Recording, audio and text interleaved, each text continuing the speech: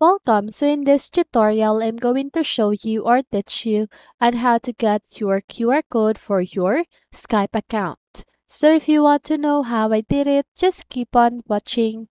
So first of all, what you need to do is to launch your Skype application. Click on your profile photo at the upper left corner of your screen. Select Sign in with QR code. Then click on Generate QR code. And then after that, you should see and get your QR code for your Skype account. So that is how you do it. So I hope this video helped you and if it did, make sure to like, subscribe, and hit the bell notification so you won't miss a video. See you on the next one and have a great day!